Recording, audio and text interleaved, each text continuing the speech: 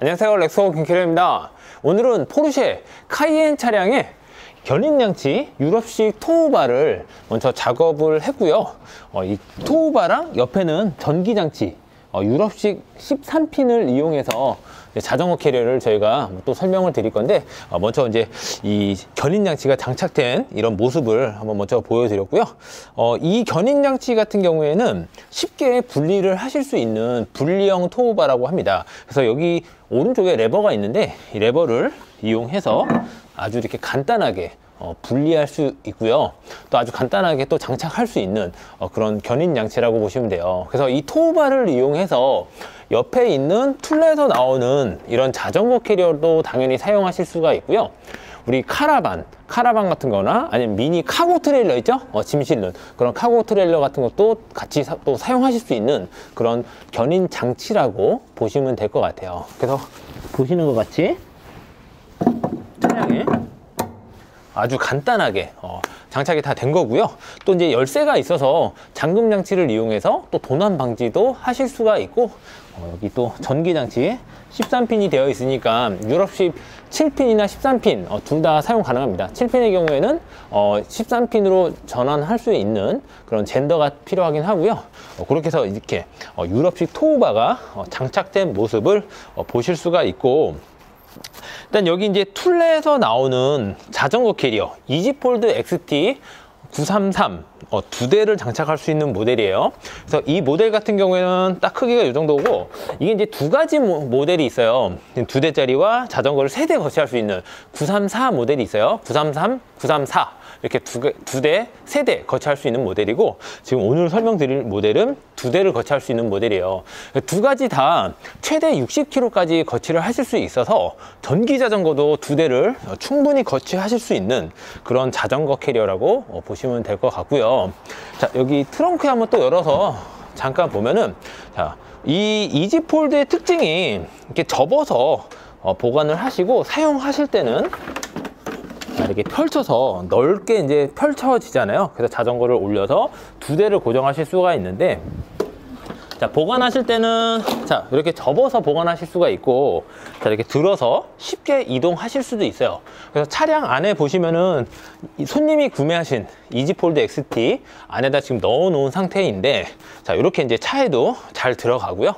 자 이렇게 보관했다가 이제 사용할 때만 어, 분리해서 어, 꺼내 가지고 바로 장착하실 수 있는 어, 이런 아주 컴팩트한 크기로 어, 조절되는 거. 이지폴드니까 바로 쉽게 접을 수 있는 그런 모델이잖아요. 이렇게 아주 간단하게 조 그맣게 도 접히는 모습을 또 확인하실 수가 있고. 자 이렇게 해서. 자 이렇게 닫아가지고. 자 이제 여기 있는 이지폴드 어, 같은 모델이에요. 자 이 모델을 한번 바로 거치를 한번 해보겠습니다. 그래서 여기 이제 견인 볼 있죠? 이 볼에 요 캐리어를 올려주고요. 자 이렇게 매달려 있는 상태에서 이 레버 여기 앞에 보시면은 레버가 있어요 그래서 다른 거 다 필요 없고 그냥 자전거 캐리어를 뒤에를 살짝 들어주시고 이 레버만 쭉 내려주시면은 어, 바로 고정이 됩니다. 그래서 아주 단단하게 고정이 됐고 자 여기 전기장치 13핀 있잖아요. 그래서 여기 13핀 이 자전거 캐리어 이지폴드도 전기장치 13핀 규격으로 되어 있거든요. 그래서 전기장치를 자 아주 간단하게 바로 연결하실 수 있습니다. 자 이렇게 이제 자전거 캐리어를 어, 거치가 완, 완료가 됐고요. 여기 이제 자전거를 한번 거치를 해 봐야겠죠. 자 자전거를 거치하기 위해서는 여기 있는 받침대를 자 이렇게 펼쳐 주시고 바로 이제 자전거를 올리실 수 있는데 자 여기 자전거를 고정하는 집게가 두 개가 있어요. 그래서 하나는 짧은 거 하나는 긴거 그래서 긴 거는 바깥쪽에 있는 자전거를 거치할 때 프레임을 고정하고요 안쪽은 이 짧은 걸로 이용해서 이제 거치하실 수가 있어요. 그리고 어, 딱 보시면은 간단하게 자 요거 분리도 하실 수 있어요. 이렇게 둘다 어, 이렇게 간단하게 분리를 하실 수도 있고 또 쉽게 다 이렇게 보로, 고정도 하실 수 있죠.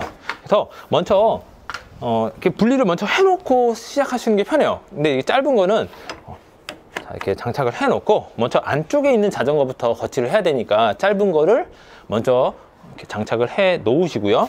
자, 그 다음에 자 MTB 산악 자전거를 먼저 한번 안에다가 거치해 볼게요.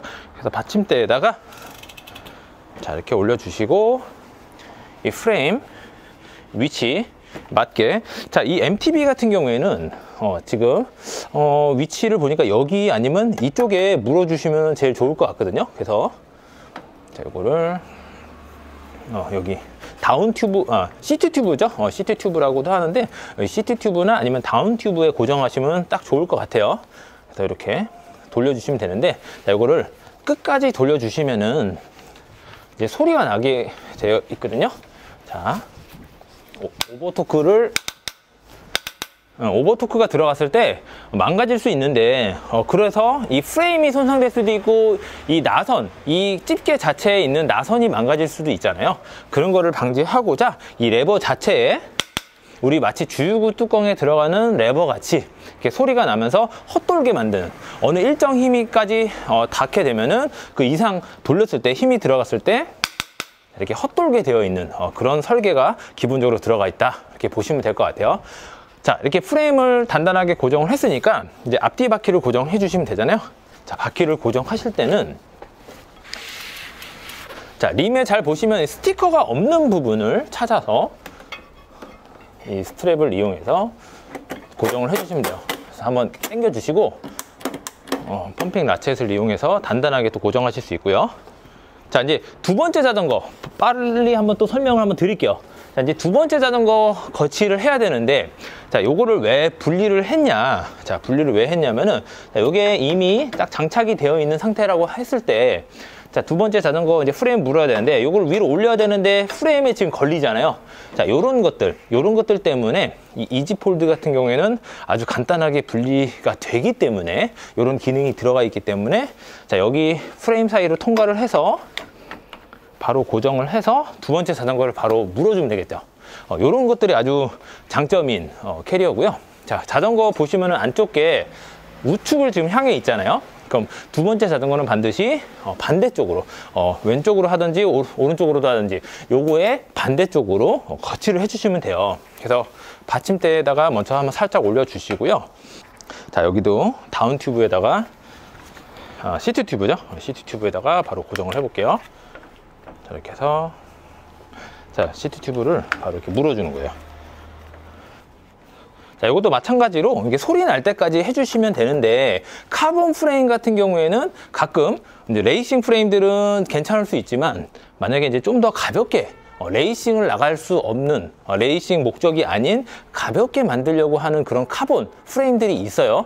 어, 굉장히 가벼운 프레임들이 있는데 어, 그런 프레임들은 음, 좀 조심을 해주셔야 되는데 자 어떻게 조심을 해야 되냐? 자 여기 보시면 이 물린 부분에 잘 보세요. 그럼 이 고무 재질로 되어 있는 부분이 꽉 물고 있는데 여기 약간 보시면 변형이 된 걸 볼 수 있죠. 자 눌리기 시작하잖아요. 살짝 풀려볼게요. 자 풀렸다가 어, 네, 다시 조여주시게 되면은 자 이렇게 약간 고무가 변형이 되는 것을 어, 확인하실 수 있잖아요. 자, 이 상태에서 자, 자전거를 한번 살짝 이렇게 흐- 움직여 보시면은 어, 얘가 잘 프레임을 고정하고 있는 것을 또 확인하실 수 있죠. 근데 이 상태에서도 주행 중에 혹시나 이 라- 어, 레버 자체가 풀릴 수 있잖아요. 자, 그렇기 때문에 이 잠금 장치 열쇠를 이용해서 자, 잠궈 주시면은 자, 이렇게 헛돌게 되어 있거든요. 그래서 주행 중에 아무리 이렇게 진동이 오더라도 자, 이렇게 막 돌아가더라도 풀리지가 않죠. 그리고 잠김도 아니고 풀림도 안 되고 완전히 그냥 양쪽 다 헛돌게 되어 있어요. 그래서 반드시 열쇠를 열어야지만 풀 수 있으니까 어, 그 점. 어, 주행 중에도 혹시 풀리지 않게끔 이런 기능이 기본으로 들어가 있으니까 어, 요 정도 확인해 주시고 어, 참고로 열쇠 분실하시면은 어, 라이딩 가서 도- 목적지에 도착해서도 자전거를 못 타실 수도 있으니까 어, 열쇠 잘 보관을 해 주셔야겠죠. 자, 그 다음에 요거 앞뒤 바퀴에도 스트랩. 자, 여기 보시면은 스트랩을 자, 끝까지 당겨 주시고 여기 회색 레버를 이용해서 좀 더 강하게 어, 딱 고정하실 수 있는 어, 그런 기능이 또 들어가 있는 것을 또 보실 수 있죠. 자, 여기도 마찬가지로 먼저 살짝 넣어주시고 밑에서 한번 당겨 주신 다음에 회색 레버 이용해서 또 단단하게 딱 고정하실 수 있습니다. 자, 이렇게 해서 이제 자전거가 완벽하게 지금 고정이 됐고요. 자, 여기 있는 레버, 레버를 이용해서 자, 밟아서 살짝 뒤로 어, 해주시면은 자 보시는 것 같이 자 이렇게 자전거를 매단 상태에서도 열었을 때 어, 전혀 간섭 안 되고 트렁크 열고 달, 어, 닫히는 것을 또 확인하실 수가 있습니다.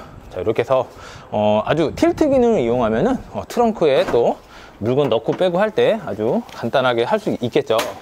자, 이렇게 해서 이제 주행하면 되고요. 자, 이제 차에 제가 들어가서 여기 지금 미등이 지금 들어와 있는 상태인데 자, 좌측 우측 깜빡이도 해보고 브레이크도 한번 밟아 볼게요.